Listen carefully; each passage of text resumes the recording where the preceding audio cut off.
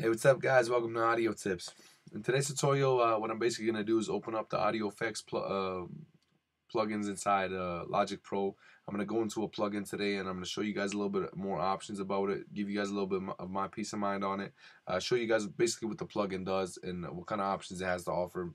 Uh, mostly just get you guys a little bit more familiar with the plugin. So let's go into Audio Effects.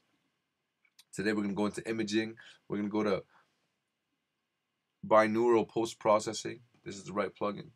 Uh, what I'm basically what this plugin basically does is just it just puts your uh, puts your track into uh, a compensation mode like a headphones optimized for front direction. It'll give you the give you the um, description on it. Uh, headphone HB optimized for horizontal uh, direction. So you guys can basically put on a track, put on your, your master track, flip through these, and you guys will see a change in the way that that um, the whole session sounds. Also, you can go into speaker CTC. This is cross uh, crosstalk cancellation. You guys can play around with this and just see what kind of effect it gives you. But this is basically it. It's it's not that hard of a plugin to get. It's just kind of like presets. I hope you guys enjoyed, learned something new. Uh, I hope it benefits you in some kind of way. Thank you guys for watching, and please subscribe.